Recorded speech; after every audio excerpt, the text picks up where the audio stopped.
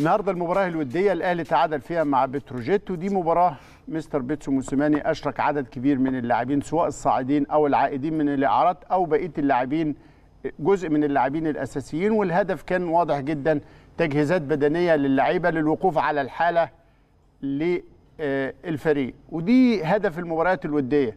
آه التعادل نتيجة ممكن الناس تتضايق منها لكن الهدف الأسمى منها هو تجريب كل طرق اللعب وأي جمل المدير الفني عايزها والوقوف على الحالة البدنية ومعدلات اللياقة الخاصة باللاعبين. دي كانت المباراة الودية وإن شاء الله يوم 16 الأهلي هيلعب المباراة الودية الثانية مع المقاولين. ده استعدادا لمباراة السوبر مع طلائع الجيش على كأس السوبر للموسم اللي فات. متأخرة سنة سوبر بأثر رجعي لكن يوم 21 الأهلي وطلائع الجيش لكن أن تأتي متاخرا خير من هو أنا اتفرجت على المباراة دي يا أستاذ إبراهيم. آه. والحقيقة اشرك في الشوط الثاني تحديدا عدد كبير من الناشئين عشان اتفرج عليهم لكن عايز أقول لك ملاحظاتي الشخصية?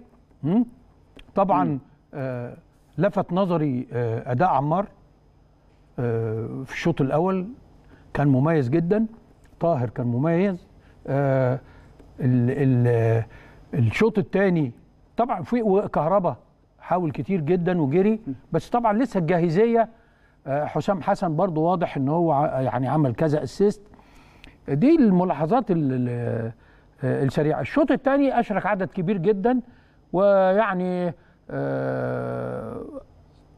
أول ظهور لمحمود لمحمد محمود. محمد محمود يعني أظهر لمسات فنية تخليك يعني تقول يعني أنا إحنا مشتاقين جدا نشوف الراجل ده في الملعب. أعتقد إنه هيبقى إضافة.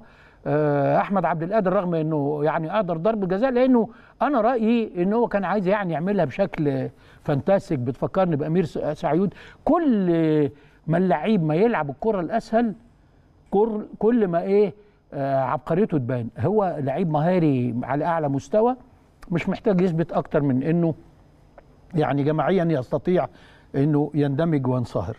آه مش عايز أنسى حد لكن آه أنا بقول إن التجربة كانت مميزة جدا جدا.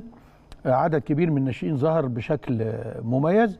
أعتقد تجربة المقاولين العرب اللي جاية هتبقى أصعب وهنشوف بقى فيها جاهزية أكتر حتى من الناحية البدنية. ده كان لقاء الأهلي الودي اليوم. اللي انتهى صفر صفر